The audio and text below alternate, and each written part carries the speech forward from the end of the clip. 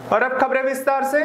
नागपुर के कामटी रोड स्थित उपलवाड़ी industry area में एक पाइप बनाने वाली कंपनी में सुबह साढ़े छह बजे आग लगने की एक बड़ी घटना सामने आई है, जिस पर नियंत्रण पाने के लिए फायर ब्रिगेड की आठ गाड़ियाँ पहुँचने की जानकारी सूत्रों द्वारा दी गई है, जिनका कार्य चल रहा था, जहाँ आग का कारण स्पष्ट रूप से पता नहीं चल पा रहा है, जो शॉर्ट सर्किट के कारण लगने की प्राथमिक जानकारी दी जा रही है।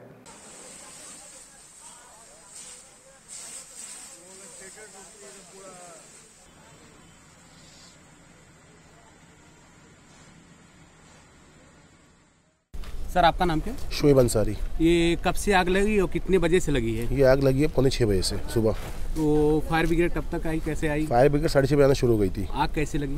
आग लगी है इलेक्ट्रिक के ट्रांसफॉर्मर शॉर्ट इससे ट्रांसफॉर्मर शॉर्ट हुआ था उसके से आग को फ्लो हुआ वहाँ पे। तो कंपनी कौन सी है क्या है कैसे एक कंपनी हमारी इकबाल सेट की है पाइप कंपनी है। एक बाबा भाई की ताज करके है के के नाम से उनकी टायर कंपनी है। वो दोनों पूरी जल के खाक हो गई है। हम्म। और आसपास में छो- दूसरे लोगों को भी थोड़ा बहुत लॉस हुआ है। जावेद अच्छा का अच्छा खासा माल जल गया पूरा प्ला, प्लास्टिक बकेट वगैरह पूरे इनके। कैसी लगी है? क्या है हुआ? थोड़ा डिटेल बताओ कितने कारखाने जल जले? कैसे जलिए इसका तो अभी कोई खुलासा नहीं कर पाएँगे क्योंकि अभी कोई तहकीकात नहीं हुई है। लेकिन अभी दो घंटे हो गए, हम लोग यहाँ पर फायर फाइटिंग कर रहे हैं। एक गोडाउन से शुरुआत हुई थी और बाद में वो आग तेज़ी से बाकी के गोडाउन में फैली है। अब तक ये तीन प्रॉपर्टीज़ इसमें इन्वॉल्व नज़र आ रही हैं और जो ओपन में जो स्क्रैप रखा हुआ है, वो भी जल रहा है। मेजॉरिटी ये प्लास्टिक और टायर का ही स्क्रैप है।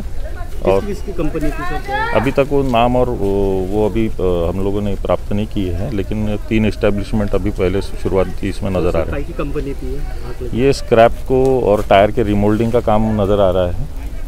प्लास्टिक स्क्रैप है। कुछ हुई कोई जान की हानि या इंजरीज की अभी तक की कोई रिपोर्टिंग नहीं है। यहाँ सिर्फ़ पानी की किल्लत है उसके वजह से थोड़ा सा मुश्किल जा रही है। शहर के बाहर एक कोने में होने के कारण यहाँ पर जो पानी गाड़ियों को पानी भर के वापस आने में कितनी गाड़ी लगी सर? आठ गाड़ियाँ या इसके लिए हम लोगों ने भेजी हुई है। कामठी नगर परिषद की भी गाड़ी मंगाई हुई है। सुबह से आठ गाड़ी लगी। जी।